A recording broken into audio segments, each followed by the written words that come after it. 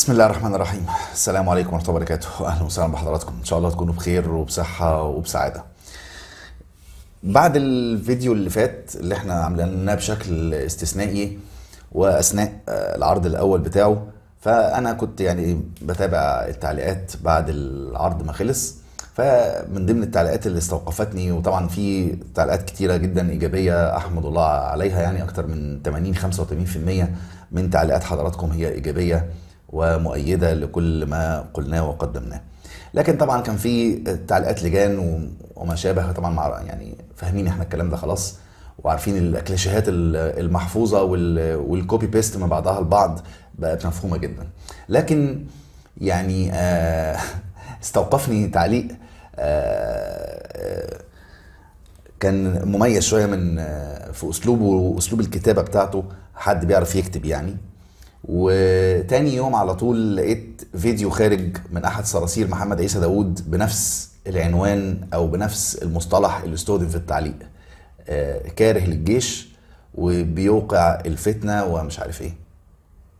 أنا كاره للجيش محمد عيسى إبراهيم علي أحمد كاره للجيش. طيب عموما يعني بعيدا عن ما إن إحنا نقعد نذكر الناس بإن العبد الفقير إلى الله وإن القناة المتواضعة دي من أكتر الناس اللي آه، يعني أثنت على القوات المسلحة المصرية ومن أكتر الناس المحبة والمتحمسة للقوات المسلحة المصرية من أكتر الناس اللي دايما بتعلي من شرف ومن قيمة المؤسسة مؤسسة القوات المسلحة المصرية. وعلى مدار سنين وسنين مفيش حاجة في أرشيف القناة دي بتهاجم القوات المسلحة أو بتقلل منها أو آه، ما شابه بل العكس هو الصحيح.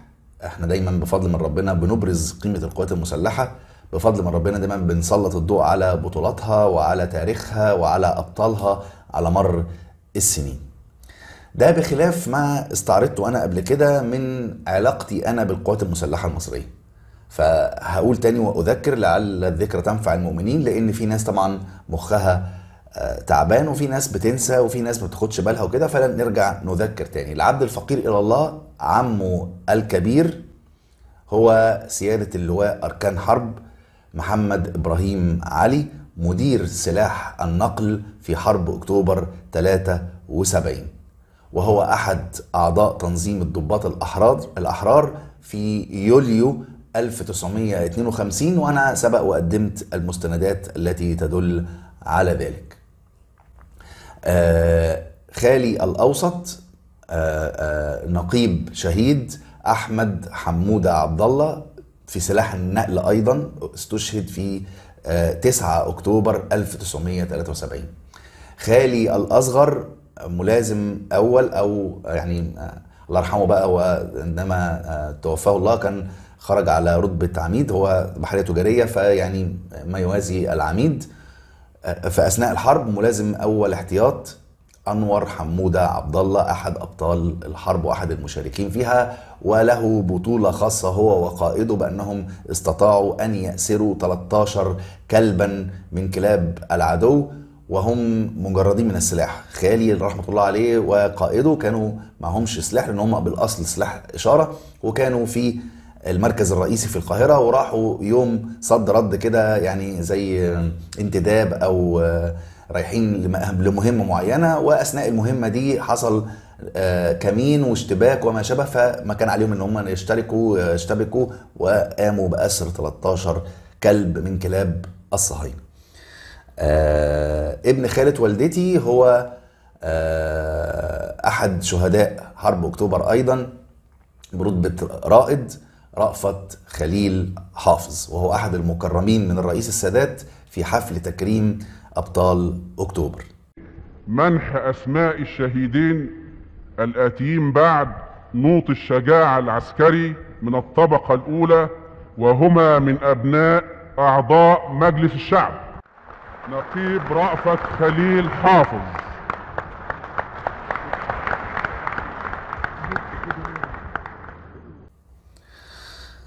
وابن خالي وأخي في الرضاعة هو الآن عقيد عامل بالقوات المسلحة المصرية.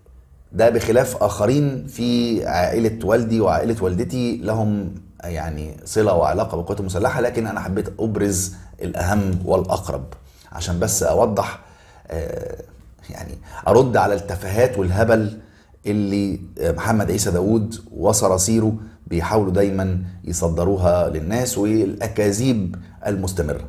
وأنا كان نفسي فتى الشرخ بعد ما كوى شعره ولبسوه آه، بليزر من وكالة البلح وخد السكريبت من محمد عيسى داوود كان نفسي أقول له يا دكتور عايزين كلمتين منك بخصوص حادث رفح.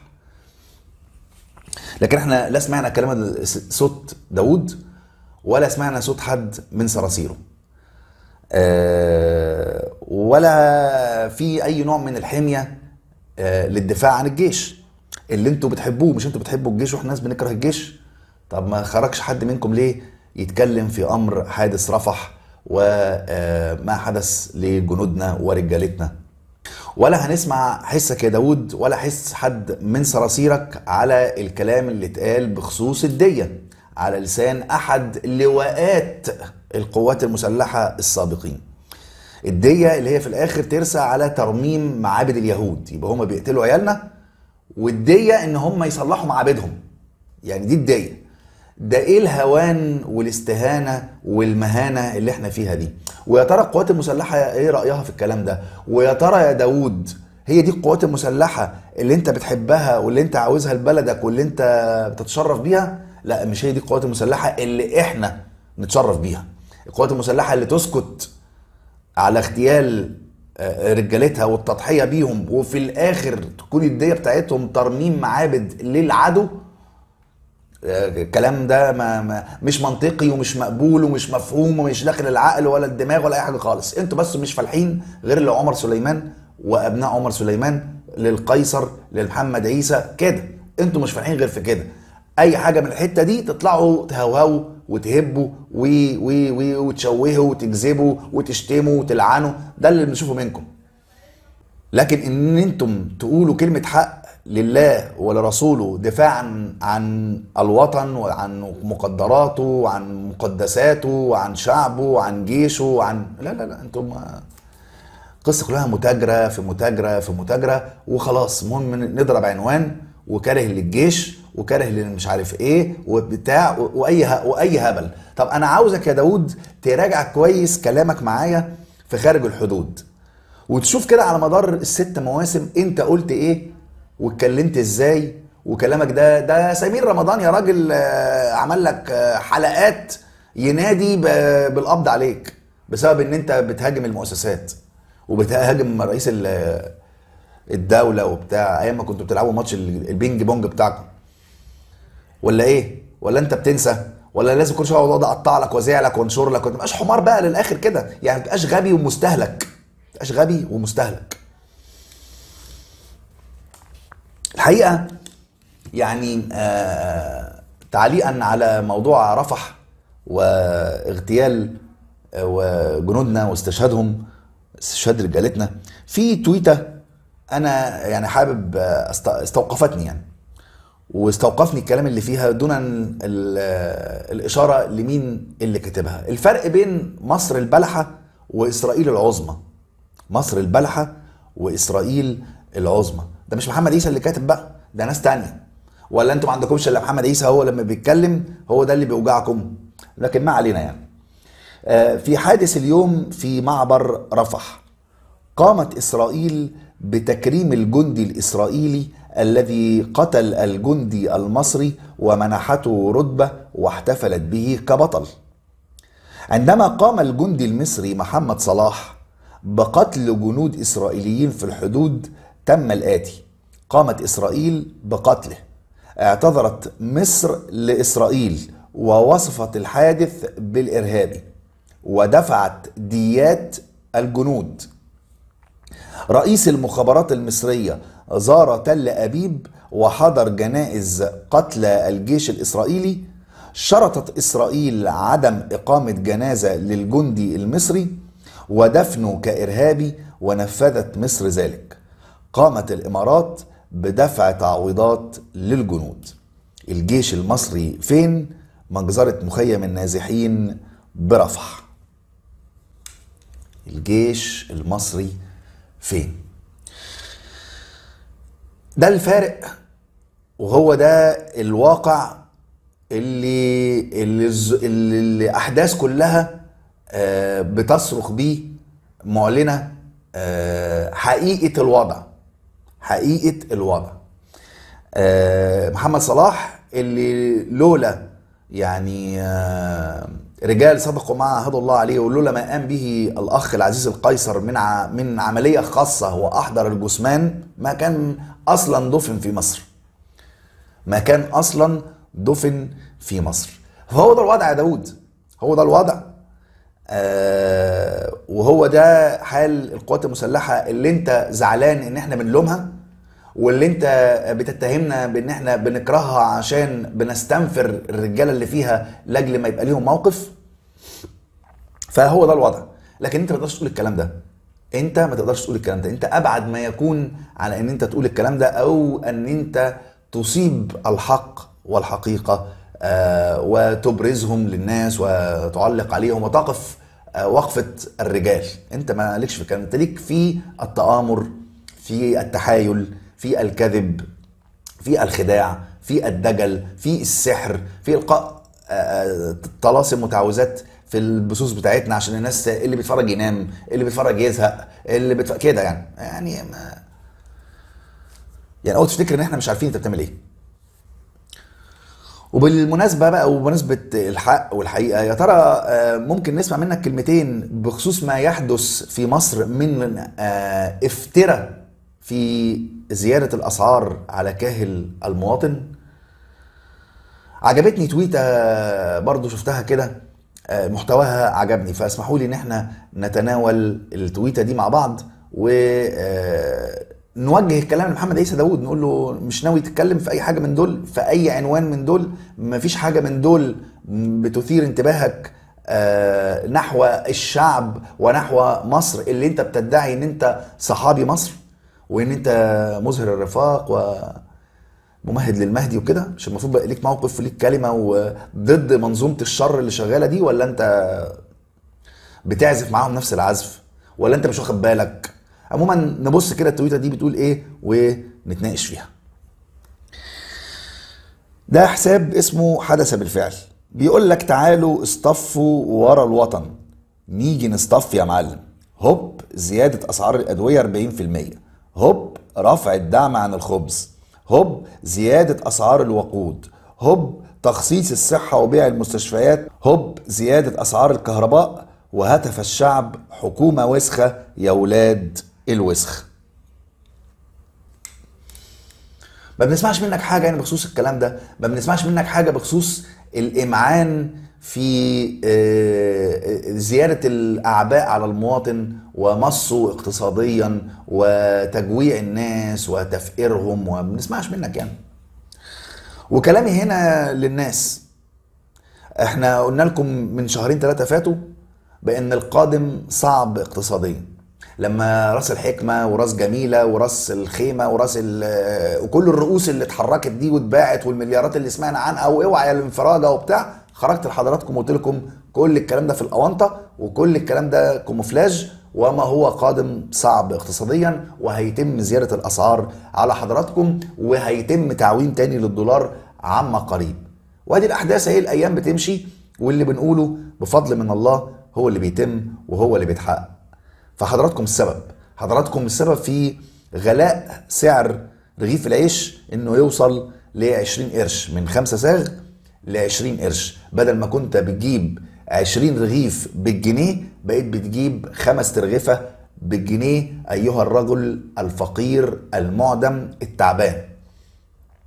يعني أنت لو كنت في اليوم بتجيب 40 رغيف عيش ب 2 جنيه تحطهم جنب ال 10 جنيه بتاعت الفول اللي بتأكل بيها العيال فخلاص النهارده مش هينفع معاك تعمل اللعبة دي. عشان تجيب ال 40 رغيف هتجيبهم ب 10 جنيه.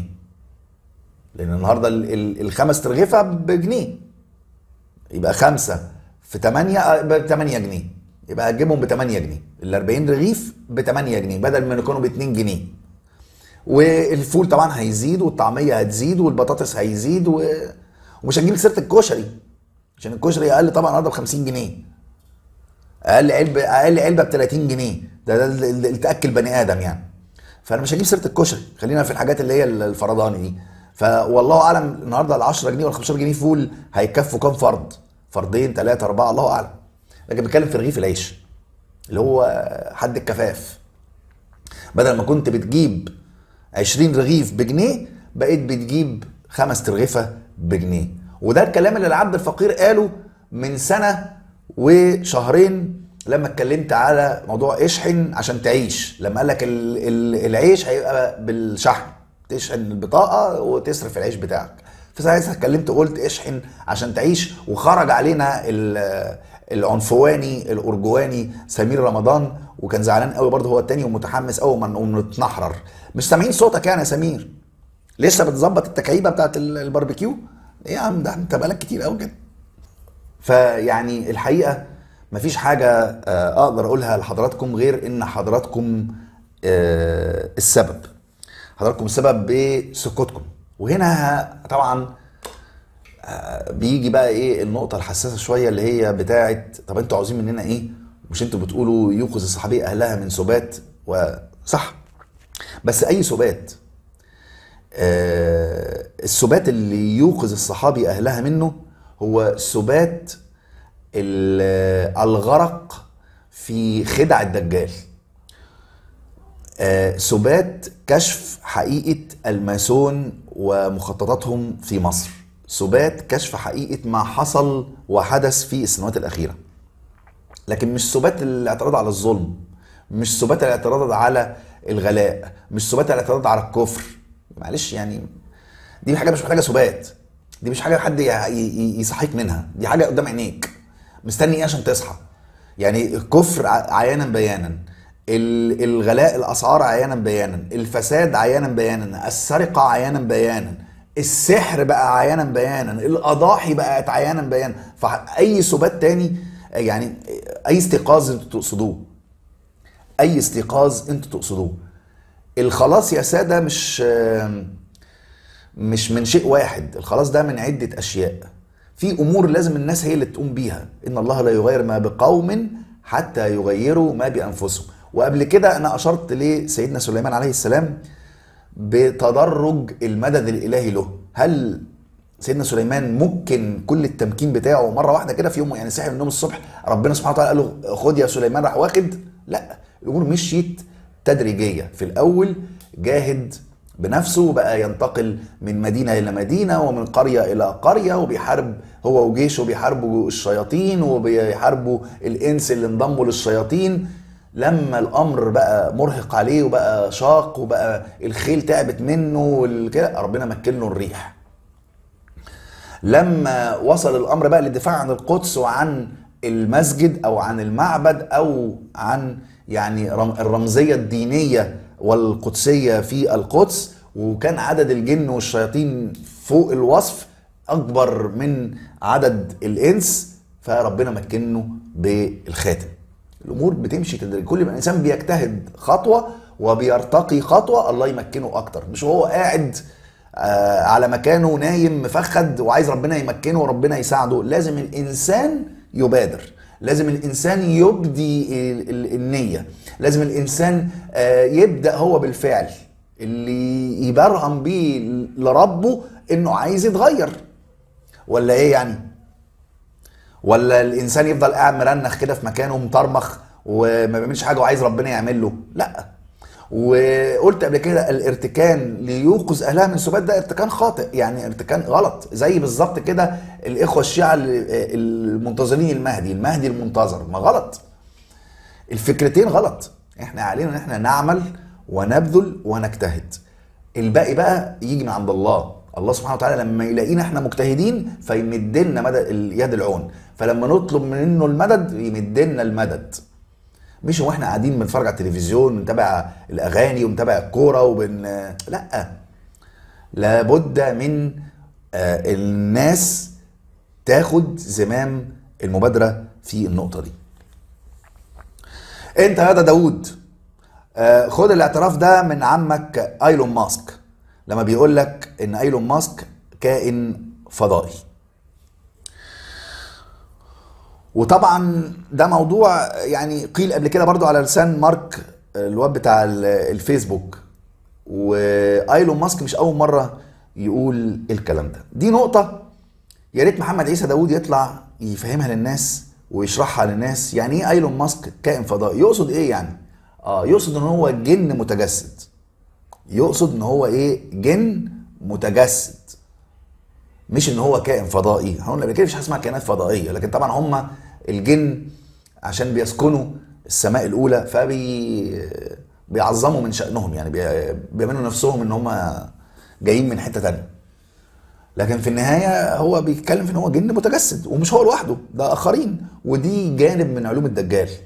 ده جانب من علوم الدجال اللي أنت بتحاول تقلل منها وتنكرها وتعمي عليها وكده. لا حبيبي ده جانب من علوم الدجال اللي من خلاله الجن بيتجسد وبيسيطر. أو إيلون ماسك هو رجل أعمال وملياردير ومخترع ومقدم ومبتكر و... وهيصة يعني. الكل يعلم من هو إيلون ماسك. ففي النهاية يا ريتك تطلع تتكلم. تقول يعني إيه؟ كلا- كلامه ده اعترافه اللي مش الأول. مش اعترافه الأول. بان هو كائن فضائي. لا الحقيقة هو جن متجسد هو وآخرين وناس كتيرة جدا من أتباع الدجال هم جن متجسد. يعني المدد من عند الله فعلا. يعني أنا لما السنة اللي فاتت واجهتك بموضوع المهدي المزيف بتاعك اللي أنت كنت بتعده أنت وحزب الله طلبت منك إن أنت تنشر صوره. فأنت ساعتها نشرت صور معينة كده صورتين نشرتهم كده إيه وطلعتهم كده قدام الناس في الأونطة يعني. وأنا ساعتها طلبت منك تنشر صورة محددة وللأسف الصورة دي ما كانتش معايا لكن مدد الله بقى إن الصورة جات لي. فده صورة الواد اللي أنت كنت عاوز تعمله مهدي وتقدمه للناس مهدي. آه صورة بتؤكد إن هو مصنوع ومصطنع ومغرور ومتكبر ولا فيه من من الإيه فيه من النورانية شيء. وده التعليق اللي أنا قلته لك في وشك في بيتك بمجرد ما شفت الصورة دي عندك وأنت كنت طابعها وحاططها على المكتبة. قلت لك ده لا يمكن يكون المهدي. النظرة دي والقعدة دي والبوز اللي هو واخده ده مستحيل الإمام المهدي تكون هي دي صفاته و أو هو ده الأتيتيود بتاعه أو هو ده أسلوبه في السوداء. واحد بيقدم نفسه. وهي حتة إن أنتوا مصورينه في التلج يعني. هو كده حبوا على التلج؟ هو المهدي هو اللي هيجي حبوا على التلج ولا الناس اللي هتبتدي تروح له ولو حب ولو ولو دي في فرضية؟ مش مش تأكيد مش أمر حتمي يعني. ولو دي ولو حبوا على التلج دي فرضية. إن لو الظروف حكمت عليك إن أنت عشان تروح تبايعه تحبو على التلج احبو على التلج. مش هو قاعد في بلاد التلج. ولا هو اللي هيجي من حبوا على التلج. يعني لكن أنتوا طبعا بتظبطوا تظبيطة من دماغكم أنتوا. وفق ال- السيناريو الفاشل اللي أنتوا عاملينه وحاطينه لظهور الإمام ورجال الإمام. فأنا بس حبيت يعني إيه أوري الناس الصورة وحبيت أفكرك بيها وأفكرك يعني بالنصبية بتاعتك ولما كده إيه حرقنا لك الواد ده حرق إيه تام ونهائي وكامل. كامل كمال الكامل. بس مش كامل فتى الشرخ لا ده كامل كمال الكامل. إيه رأيك في كلام ابن خالتك شوله الولا إيدي كوهين عن محمد صلاح ونصيحته للأمتين العربية والإسلامية؟ عايزينك يا تتكلم وتقول لنا رأيك في الموضوع ده إيه خصوصا إن أنت بتحب إيدي كوهين يعني وبتعزه ودايما بتوجه له رسائل وبتخاطبه وبتاع وبتدعو للإسلام وكده. فعايزين يعني منك تسمع الأول الكلمتين دول وتفهمهم وتطلع كده ترد عليه أو تقول لنا رأيك في الكلمتين اللي بيقولهم ابن خالتك شوله الأمة العربية الإسلامية يلومون وينتقدون اللاعب المصري محمد صلاح حول أنه لا يكتب شيء حول ما يجري في غزة ورفح. حالكم يا عرب ويا مسلمين يرثى له عددكم أكثر من مليار ونصف.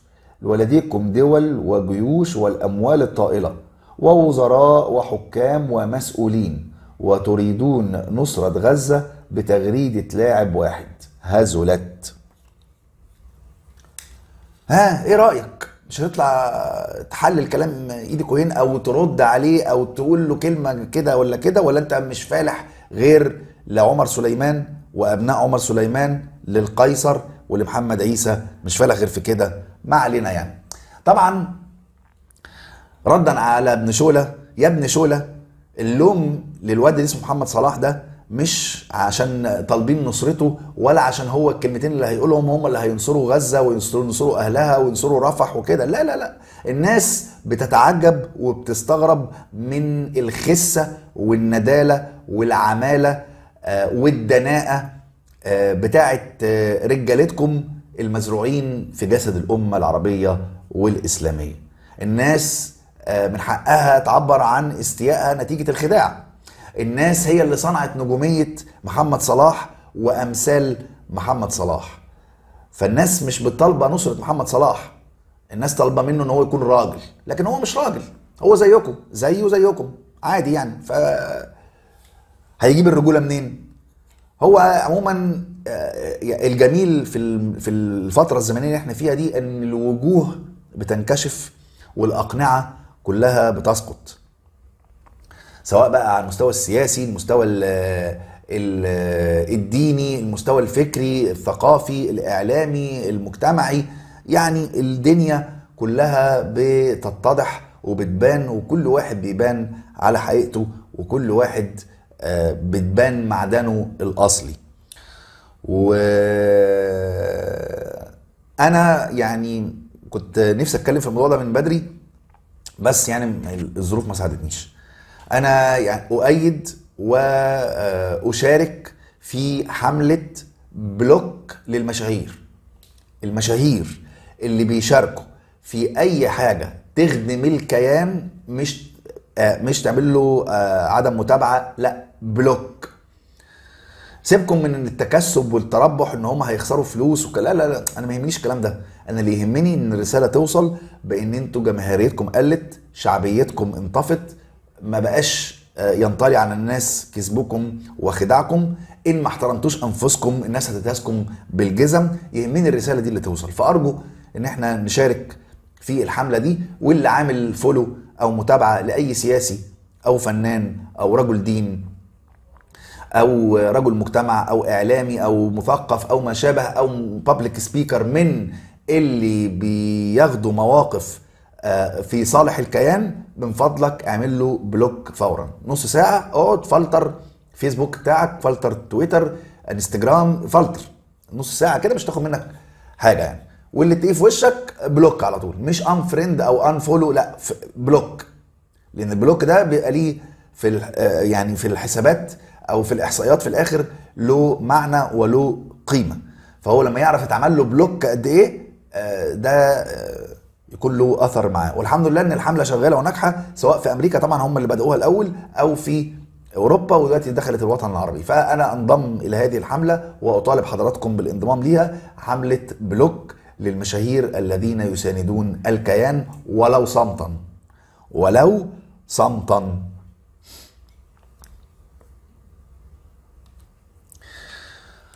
يعني آه، النهارده آه، بالصدفة كده بقلب في الحساب بتاع خارج الحدود على تويتر وبشوف ال notifications بتاعته فلقيت notification غريب شوية. بس ال notification بيأكد إن فعلا الدجال بإبليس برجالتهم بأتباعهم لا أنتوا أغبياء قوي.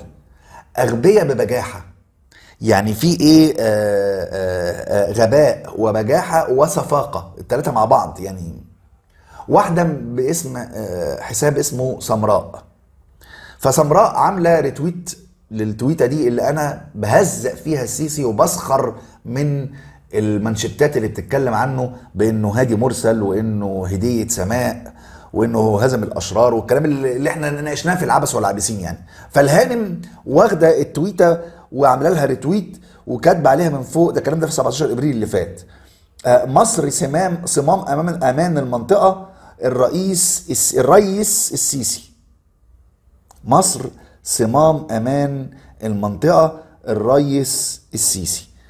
لا مش فاهم يعني بجد مصر صمام أمان المنطقة على إيد مين؟ كده يعني زي كده بالظبط اللي بيقول لك إيه يا عم مصر محروسة مصر محفوظة. بمين؟ بإيه يعني؟ لله في لله كده ولا بعمل أهلها بانضباطهم ب تركهم للفساد وما شابه؟ مصر أمان المنطقة منين؟ ده إحنا بناكل على قفانا ليل نهار يا يا ست ست سمرة. بناكل على قفانا ليل نهار. عسكريا اقتصاديا سياسيا دبلوماسيا رياضيا فنيا أي حاجة في أي مجال إحنا بناكل على قفانا. فين مصر سواء أمان المنطقة دي؟ لكن هو الغباء له ناسه والناس دي يعني امعنت في آه، في الهبل وامعنت في البجاحة. كلهم ماشيين بمنطق ومنهج الدجال في تعامله مع سيدنا موسى عليه سلام الله في سورة طه. هكذا سولت لي نفسي. هو كده. آه أنا عملت كده واللي عاجبه عاجبه واللي مش عاجبه عنه ما عاجبه. هو د- آه، يعني منهجهم والغباء آه عنوانهم وحسبنا الله ونعم الوكيل. أخيرا وليس بآخر هدي مؤخرتك يا داود هديها مرهمها يعني مرهم المؤخرة وممكن تجيب زيت جوز هند في زيت الجوز هند وتسقسق كده على المؤخرة مكان الشريحة عشان الشريحة في الترترة. انت طبعا عارف الترترة دي إيه بالظبط. فيعني تسقسق بقى وهدي مؤخرتك. ومالكش دعوة بيها بقى. وخلاص بقى وفكك بقى إيه من الجو الهبل بتاع صراصيرك وانت فاهمني. فكك من جو الهبل بتاع صراصيرك وانت فاهمني. عشان انت مش هتوصل لحاجة. آه وانت آه نهايتك هتكون بين عينيك بين عينيك 3 جنيه إلا ربع. من الآخر يعني. زي ما الوليه كده والواد التاني مح- محروقين فأنت بين عينيك. فهي هانت إن شاء الله. لأن فرج الله قريب. وقريب ده مش معناه بكرة ولا بعد بس هو قريب. أنا أنا أستشعره قريب. بالناس بقى بمعجزة من السماء ايا كان. المهم أرجو من حضراتكم إن أنتوا آه، يعني تتحملوا المسؤولية. أرجو من الناس إن هي تع- تعرف تمام المعرفة بأن لا خلاص إلا بأن يغيروا ما بأنفسهم ولا تغيير آه، بما في يعني بما في أنفسنا إلا إن نعود عبادا لله بحق. وهنا ردا على يعني آه، تساؤل بعد الفيديو الأخير لبعض الناس اللي بيقول إيه طب أنت عاوزنا نعمل إيه بالظبط ومش هنعمل إيه بالظبط وكده. يا سيدي آه، أول انتفاضة تعملها جوه بيتك. تشوف حالك مع نفسك حالك مع أهلك. أنت واكل حقوق حد أنت مغتصب شيء مش بتاعك. أنت بتكيد لحد أنت بتحسد حد أنت بتسحر لحد. شوف نفسك الأول. صلح من شأنك انت الشخصي الأول وبعدين شأن بيتك وأسرتك وأولادك وبعدين شأن من حولك. آه، شوف نفسك الأول ثقافيا. انت ثقفت نفسك بالقدر الكافي أهلت ع- عقلك بالقدر الكافي أهلت أهل بيتك بالقدر الكافي أهلت من حولك بالقدر الكافي ولا لأ؟ آه، شوف نفسك على المستوى الروحي على المستوى النفسي كل الأمور دي. ابدأ ببيتك الأول. ابدأ بنفسك وابدأ ببيتك. إذا بدأت بنفسك وببيتك بجدية وبإخلاص وبإقبال على الله وبتضرع داخلي لله سبحانه وتعالى إنه يوفقك فثق إن الأمور هتمشي آه، في الاتجاه اللي أنت عاوزه. آه، فيا ريت نبدأ بأنفسنا نبدأ بأهلنا نبدأ ببيوتنا نبدأ بزمايلنا في العمل نبدأ بجيراننا نعلو من كلمة الحق في أي مكان في أي زمان تحت أي ظروف دون أن نخشى شيئا. ونثق بأن من يدافع عن الحق فإن الحق سيدافع عنه. بإذن الله تعالى نلتقي قريبا من خلال اليوميات مرة أخرى وإن شاء الله أنا جاهز بجهز الظروف معايا في خدمة الإنترنت عشان يبقى معايا آه، إنترنت قوي وأقدر أخرج لحضراتكم في لايف زي ما وعدتكم. إلى أن نلتقي على خير. خالص تقديري وتحياتي. والسلام عليكم ورحمة الله وبركاته. ومتى تنتهي هذه الكرة؟ حين نعود ثانيا عبادا لله.